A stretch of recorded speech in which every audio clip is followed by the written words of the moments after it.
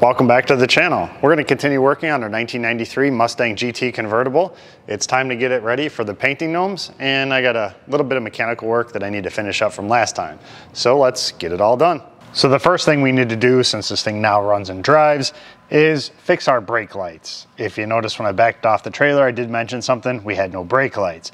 Now that's not such a big deal, we don't really need those right now except for we can't take it out of park. You have to turn the key to the ignition, unlock, and then take it out of park, put it in neutral, then start it, and then go through your gears, drive it around once you put it in park. It won't come back out till you shut the ignition off and do that whole scenario all over again. So it's a pretty common failure on these things. It's the boo switch. Yes, I said that right. Ford's great acronym for brake on off switch. Uh, the wires, the switch is actually on the brake pedal and the wires move with it. Well, wires don't flex all that great, so they end up breaking off literally right at the terminal. So climb on under here and we'll take a look and see if my guess is right. The supervisor is headed back to her office. She was working the teleprompter for me. Let's climb underneath here. It's hard to see. It's right above that little bracket there. Let's see if I can get you better position. This is about as good as it's going to get. They put that switch right above that bracket, but you can see the plug. It's got the two wires going to it.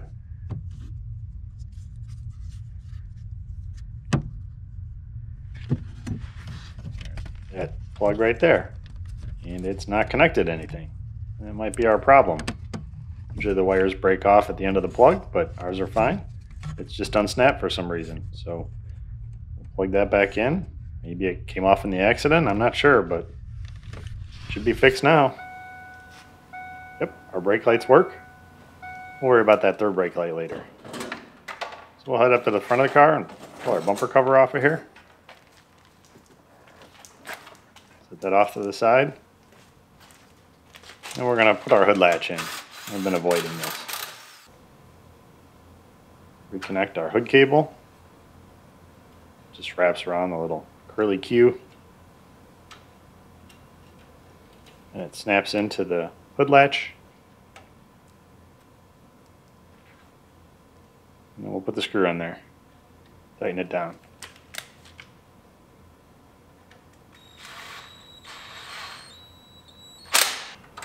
We'll start our screws in the hood latch. These things have dinner plate size washers on them. Then we'll tighten it down in the center and see how close it is to where it belongs. There's plenty of adjustment if we're off. Make sure it's hitting our hood in the right spot. Close it and see how it fits. Our gaps look pretty good. The height is wrong, but that's what they made the rubber baby buggy bumpers for. So we can just spin those out and adjust it. And our hood cable works. So it didn't change our gaps at all. We're good. I wanted the supervisor's approval, but she's too busy taking a nap. Big surprise. Now she wants to know why I'm not working. We're to pull these moldings off. We're just using some welding wire, working it back and forth to cut the two-sided tape on the back. These moldings have an aluminum strip in the back, so you don't want to just pull out on them, because once you bend that aluminum strip, they never stay on there. They never flatten back out. So you either have to pull the aluminum strip out of it or don't bend it in the first place. I'm going to go with don't bend it in the first place. This one looks pretty good. Not sure why I saved it. Maybe I'll use it on the next car. We're going to go onto the door. We need to get this out of the way so the bodywork gnome can do his bodywork.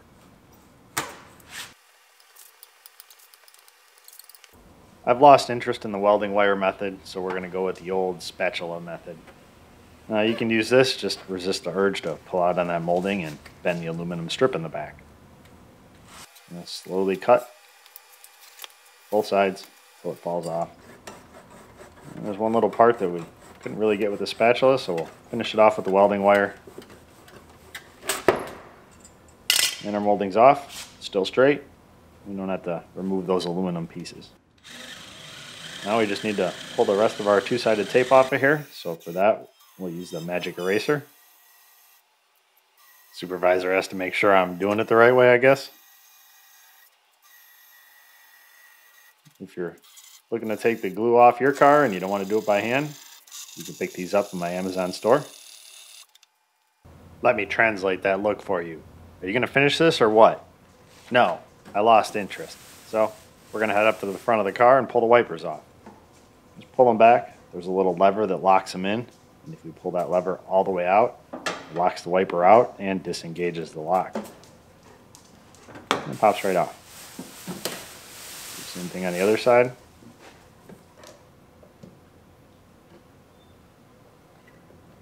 Also, when it's on that lock, it gives you a little leverage to pull it off the shaft. Now with the wiper arms out of the way, we can pull our cowl screen out of here. Just a bunch of screws. This is back in the day when I didn't try to hide screws. Just left them wide out in the open there. We can lift it up and we need to disconnect our washer hose, but we do have to be careful because this plastic does get brittle and we don't want to break the washer nozzle. We'll just gently twist it and pull it off of there. It survived. We can pull our moldings off. Little tab, we just opened up the tab with the edge of the screwdriver. I had already pulled the other end of the molding out from underneath the pillar moldings when the fender was off. Getting it back on is going to be a little trickier. I'm going to go ahead and throw our little snorkel in here for our air box. Goes in from the outside. There's some studs that go through the apron. We'll put the nuts on those. Now this is how you know you have one of those very rare unmolested Fox bodies because I believe the first mod you are required to do when hacking a Fox body apart is the cold air intake. So this one still has the original air box and snorkel and everything. Now we're going to bolt our mass airflow sensor back to our tower.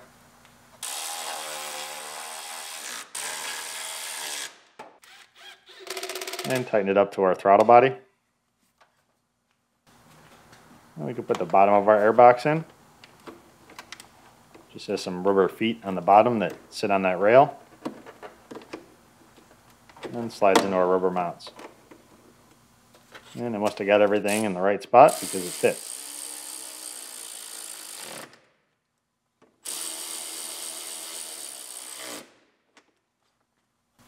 we can install our air filter. And drop the top to our air box in there.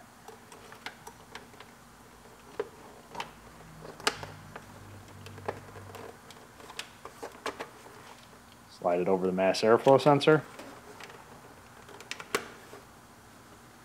And clip it all in. Tighten up our last hose clamp. I'm going to deal with our melted ground wire here. While I was pulling the bumper off, the car had a little pigtail here for us. So we cut it off. Make sure it plugs in before we go cutting anything. And it looks like everything we need.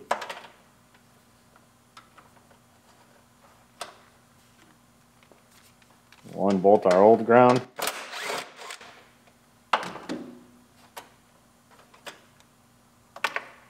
Bolt our new one in.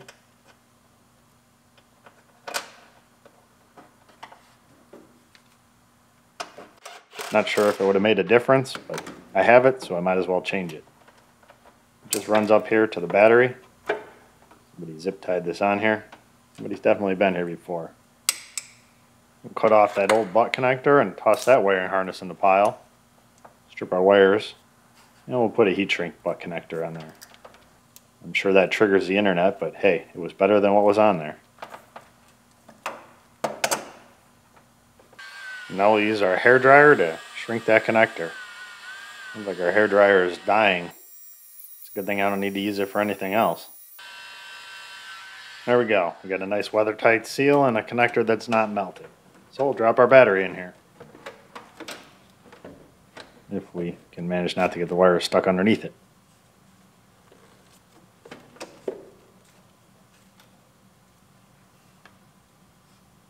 Put our little hold down in there. And our hold down bolt. Bring it down to manufacturer specs. give it a shake and make sure it's going to stay in there. Now we can put our battery cables back on. Tighten them down with a wrench. I guess we're not in a hurry today.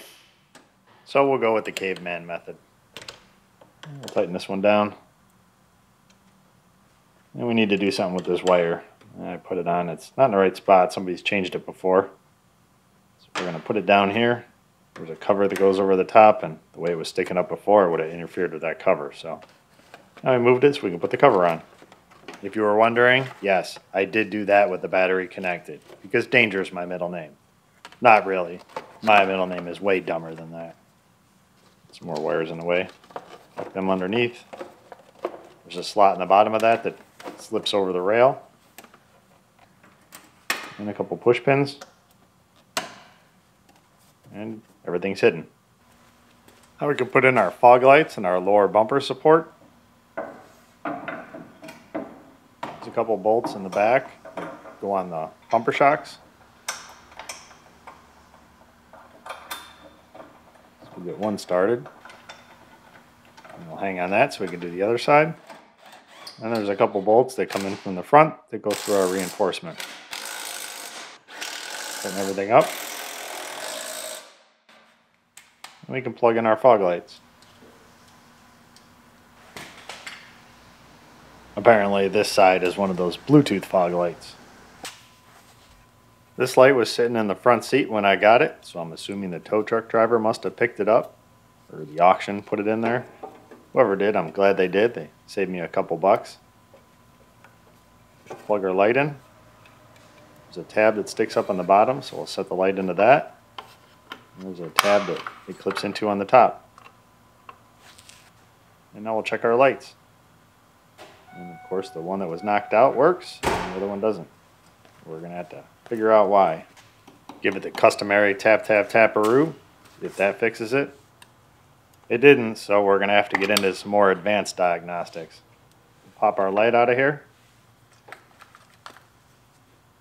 We'll clip our test light on our ground and check our power. We got everything we need. Our light should be working. It means our bulb is burnt out. Much better than having to find a broken wire somewhere. So we'll unplug the power side and clip our light bulb and it pops out of there. You can actually see the filament is broken, so really didn't have to test the power and ground. I could have just looked at it. Drop our new bulb in there. Close the little clip back up and plug it in.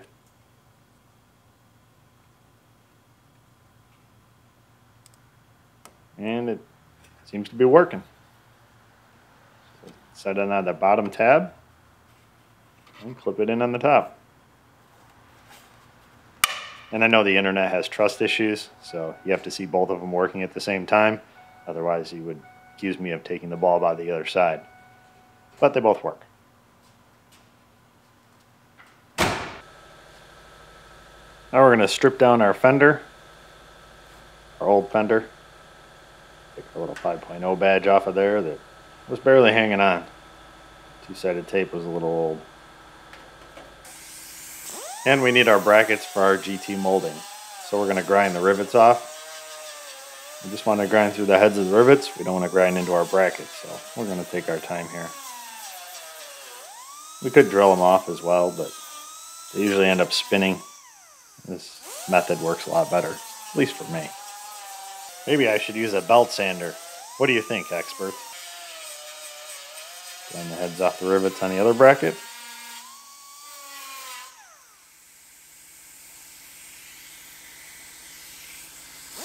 A little bit more on this one. And it falls right off. This one we'll just tap out with the hammer. And our brackets are off. I might have cut a little too deep on those rivets, and now we are left with a template. I actually only need to drill the two holes in the bottom bracket. The ones up in the top are there whether it's an LX or a GT. So we're going to use those to line everything up. We'll clamp our little template on here so it doesn't move around. We'll put the clamps underneath the molding in case we dent the fender, and we don't have to worry about it. down a little bit to get it lined up. Make sure all of our holes across the top are lined up, and then we can go ahead and scribe those back ones. Takes just as much time to cut this piece of the fender off the old fender as it does to make a tape template or measure everything. And we can reuse this one if we ever get another Mustang that we want to put GT moldings on. Pull our clamps off of here and wipe some of our dirt off of here so we can see where we scribed our holes. And we'll go ahead and fill out our holes. I'm going to start with a nice small eighth inch drill bit.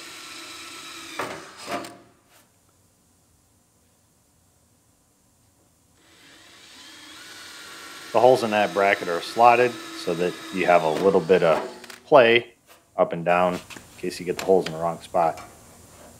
Ford left you lots of room for lots of adjustment all over this car. Tolerances were pretty lax back then. Our holes line up, we're centered, so we're going to go ahead and drill the holes out to the size they're supposed to be for our rivets. Doesn't want to give me my drill bit back.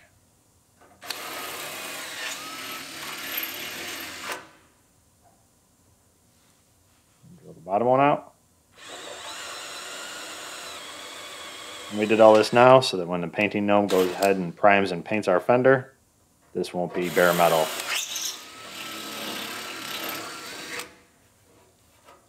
I don't know what size it is, but I know it fits in here, so it's the right size. Now we're gonna go over and change our bumper over. We need to get our headlight mounting panel out of here. But in order to do that, we gotta pull all of our lights out. Got one headlight, and the marker light.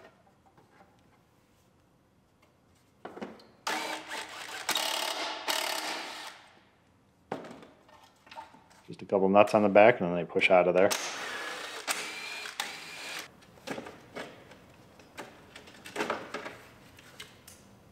More headlight. And one more marker light. Now we can drill out more rivets. Because if I'm not drilling out spot welds, I'm drilling out rivets. Not sure which I dislike more. Now these aren't high-speed drill bits, but we're only drilling through aluminium rivets. So if you go full throttle with the drill bit, it tends to cut through the aluminum and not spin the rivet. If you go a little bit slower, it'll catch the rivet and start spinning, and it's harder to drill the heads off. So if you go pretty quick, it'll get through the head and hopefully before it spins. Somebody's been here before. There's a couple push pins in there where there's supposed to be some bolts. We'll pull those out of there, pull it off the rest of the rivets that are in there, and we're ready to pull our headlight mounting panel out from inside our bumper. It tucks underneath the edges of the bumper. So we just got to pry it over the studs to get it out of there. It's a pretty snug fit. It gives the bumper its shape. So just of pry it over there. Once you get one side off, the other side isn't so bad.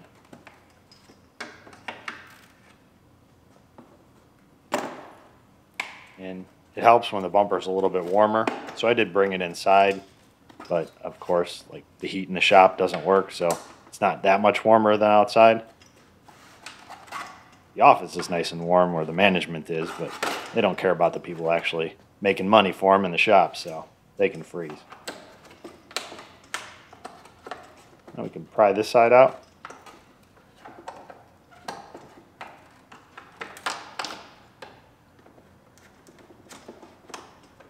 Second side's definitely easier. Clip pliers work perfectly.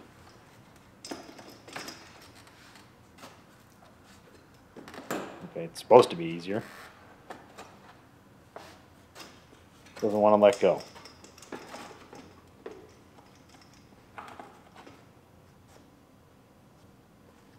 With the headlight panel out of the way, it makes it real easy to get to our emblem.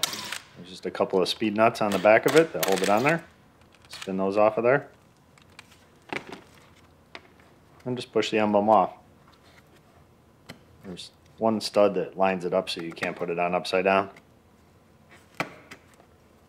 And look at that, they circled the problem with this car. And now we're going to put our headlight mounting panel in our brand new GT bumper cover. It's a good thing that everybody told me in the other video that the bumper cover was for an LX, or I never would have known.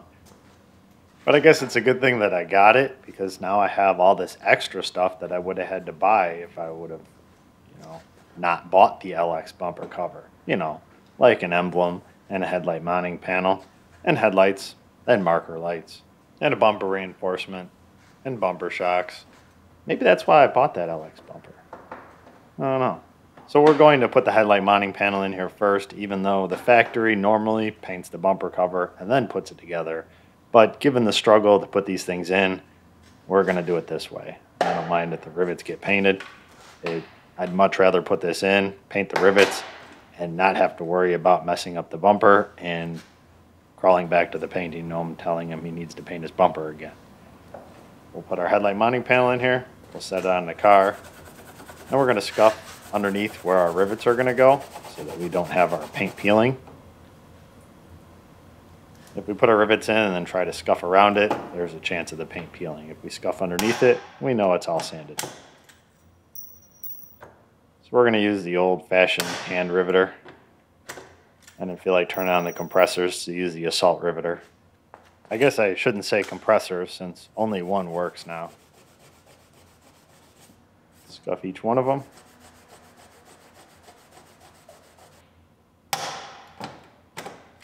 I put it on the car, it makes it a little easier to push on the bumper and get it nice and tight up against that headlight mounting panel. I could have done it on the stand, I guess. The rest of our rivets in here.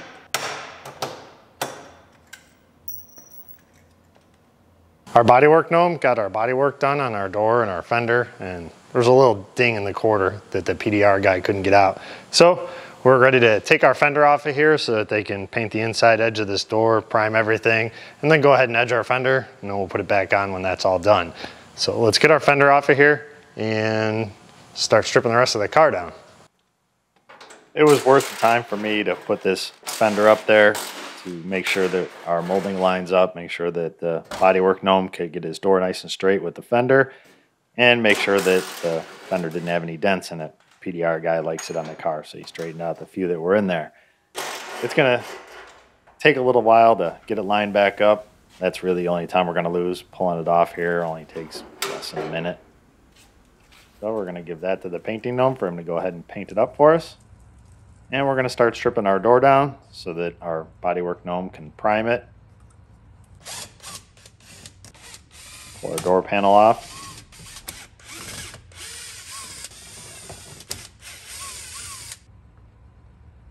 Pry the switches out of here. Try to be gentle. The last guy wasn't. We're going to unscrew the bezel from our switches because our switches are going to kind of dangle in there and I don't want this bezel getting caught in the door and broken. So we'll pull it out of there. And we'll pull the bolts out of our armrest slash grab handle slash switch mount. Unclip it from the door. And this front tab is stuck in there. And our door panel pulls right off since there's no more Christmas trees left on it. We'll lift it off the top. And there's nothing else to unplug. Pretty simple door panel. Somebody's definitely been here before. I'm pretty sure that aluminum tape is not OEM. The duct tape, that was probably installed at the factory. Pull our water barrier down. That way we can get to our mirror. Then we're going to pull the back of it down and see if we can figure out why our door locks don't work. If I had to guess, I'd say our actuators are junk. Yep, they're still plugged in.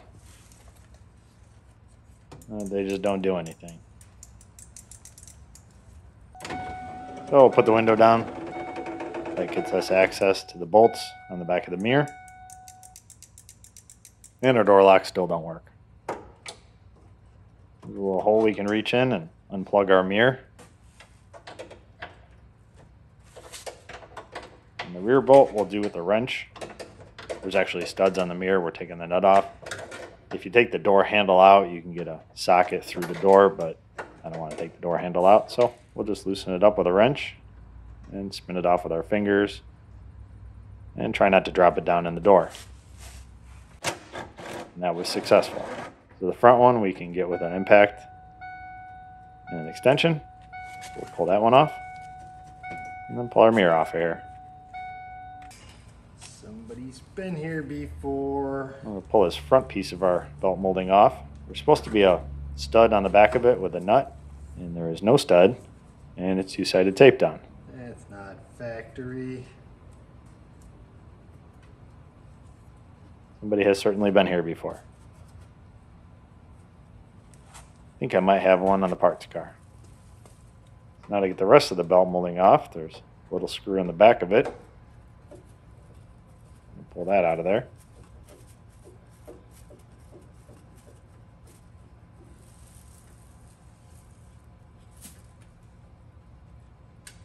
And the belt molding just slides back.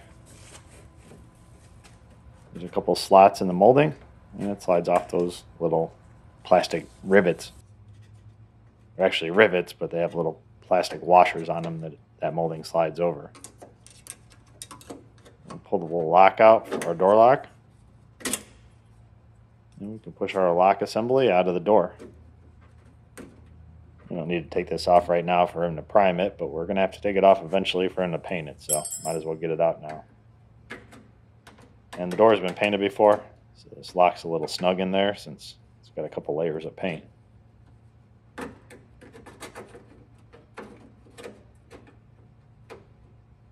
need to disconnect the rod. Just reach in from the back and unclip it. Now we can pull the base of the antenna off. Pop the little cover off. And there's four screws in there. You really wanted to make sure it wasn't going anywhere. We need this out of the way because we're going to end up priming the entire fender because of all the paint issues. And our base is out. We'll throw that in our bucket. And we'll take our five point slow emblem off. You got to make the emblem removal face or you risk breaking it. And now on to the back of the car, which had nothing to do with the accident, but our paint didn't want to stay on the car back here either. So we're going to have to take our luggage rack off so that we can repaint the deck lid. I can only assume that Ford finally ran out of rivets, so they were nice enough to put a couple bolts in the back of this luggage rack, so we'll pull those out first. Then we'll unplug our third brake light. Try and stuff the grommet through, but it's 30 years old. It's a little tough, so we're going to wait. And they were nice enough to put two screws in, but then the jerks went and riveted the rest of it on, so now we got to drill our rivets off of here. And I wasn't going fast enough with the drill, so our rivet started to spin before I got through the head of it. And I did it again on the other side. So to get it out of there, we can lift up on that slat a little bit and bind the rivet up in there. Just enough to get the rest of the head off of it. Not enough to bend the slat or dent the deck lid. If you lift up too much, you will dent the deck lid. And it's supposed to be glued to the third brake light, but somebody's been here before. Clearly it wasn't to paint the deck lid. There's a couple screws in our third brake light. Pull those out of there.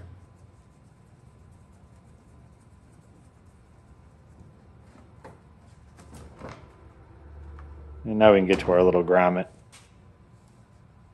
We're going to use a pick very gently to get it started. If we get one part of it started, we'll work our way around. It's more like plastic now and not rubber. We'll probably have to warm it up a little bit to make it soft enough that we can pop it back in there when we're putting it back together. And there's a clip on the back side that is supposed to be adhered to the deck lid that fell off. It's still clipped on the wire, so we gotta unclip that so we can get our wire to go through there. And we'll dump the screws out of there before we lose them. And now we can go on to drilling out more rivets. Ford was very fond of rivets on this car. We're going to drill a little bit on each one and then go back. We'll let it cool off that way so we don't melt into the plastic. Don't know that it helps that much, but it does in my mind, so that's what I'm doing. That's why I'm going back over it now. Once we get one end up, we can lift up on it and bind up that other rivet.